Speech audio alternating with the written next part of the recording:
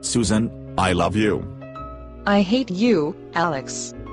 I really love you. I love you. I love you. I love you.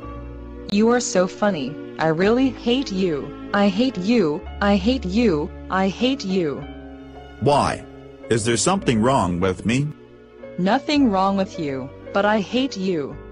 Just tell me why, and I will not ask any more.